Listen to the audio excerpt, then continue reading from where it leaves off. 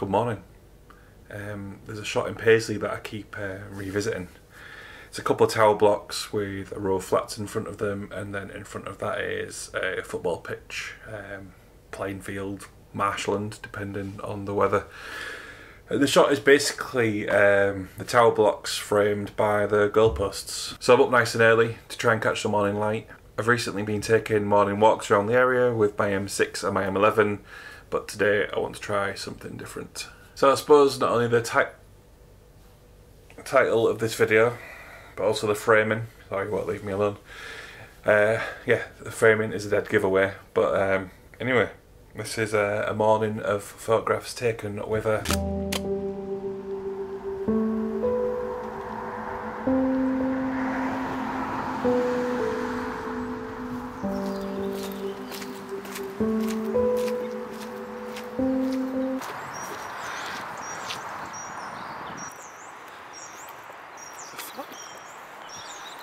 Well, it appears it appears that the um, goalpost that I wanted has been taken away. Fuck's sake. Nope, no it hasn't. It's right, right in front of me. That was ridiculous. Even though I've got glasses now, they've made fuck all difference.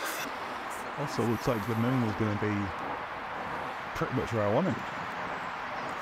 Yeah, so using the using the Hasselblad today. Little six by six. The last time, or one of the one of the last times I shot this, it was uh, using the Q2. And I cropped it into a six by seventeen. Uh, it's a much duller day. I like coming back to this place and just seeing what changed. Like for example, well, I thought that I thought the goalpost was taken away, but it wasn't. It's just even more weathered now. It's not even remotely white. It's just a rusty browny orange that blends in with the um, trees lining the motorway there.